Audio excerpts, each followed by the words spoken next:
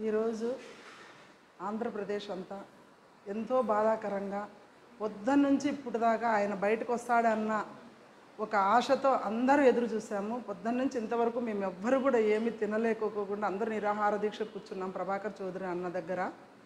మరి ఇప్పుడు ఈ వార్త వింటానే మా మనసు అంతా చాలా బాధ బాధ అనిపించింది. మహిళలందరూ బాధపడుతున్నారు. మళ్ళీ ఆంధ్రప్రదేశ్ ప్రజలు ఏమి ఇంత బాధపడుతున్నారో తెలియదు ప్రతి ఒక్కరూ టీవీల ముందరే కూర్చున్నారు.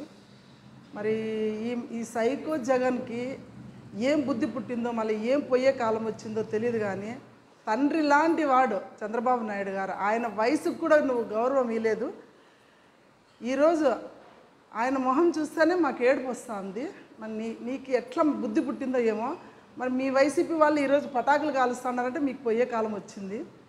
మేం మాలాంటి వాళ్ళు కాదు పైన భగవంతుడు మీకు శాపము. భగవంతుడే మీకు పెడతాడు.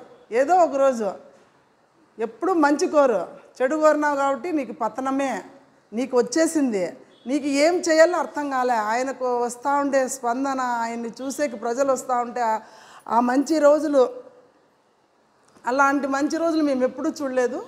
ఇంతకుముందు మేము రెండు వేల పద్నాలుగులో గెలిచినప్పుడు కూడా మరి చంద్రబాబు నాయుడిని చూసి మేము ఎంతో గర్వపడ్డాము. మరి ఈరోజు నువ్వు అసలుకి నిన్ను చూస్తా అంటే మన మహిళలకే మాకు అందరికీ అసహ్యం అవుతుంది అసలు నిన్ను నీ నాయకుడిని ఎలా ఎట్లా చేస్తున్నారో తెలియదు కానీ ఒక ముఖ్యమంత్రి అంటే ఎంత హోదాగా ఉండాలా? నీకు మనసు ఎట్లా వచ్చింది? నీకు అంత గొప్ప వ్యక్తిని ఆయన్ని చూస్తేనే కడుపు కాలిపోతుంది మాకు. నీకు ఓటమనే భయం చుట్టుకుంది. ఆ ఓటమనే భయం కోసమే నువ్వు ఈరోజు చంద్రబాబు నాయుడిని ఈ విధంగా చేసినావు. నీలాంటి వాళ్ళు వంద మంది వచ్చినా ఆయన ఒక వెంట్రుక కూడా పీకలేరు. ఎందుకంటే ఆయన తలలో ఎన్ని తెల్ల వెంట్రుకలు ఉన్నాయో అంత రాజకీయాన్ని చదివినాడు. నువ్వేంది ఒక లెక్కన పాడా?